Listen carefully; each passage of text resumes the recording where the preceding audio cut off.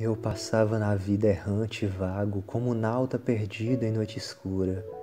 Mas tu te ergueste, peregrina e pura, como cisne inspirado em manso lago. Beijava a onda num soluço mago, das moles plumas a brilhante alvura, e a voz ungida de eternal doçura roçava as nuvens em divino afago. Vi-te, e nas chamas de fervor profundo, a teus pés afoguei a mocidade, esquecido de mim, de Deus, do mundo. Mas ai, cedo fugiste da sua idade, hoje te imploro desse amor tão fundo, uma ideia, uma queixa, uma saudade.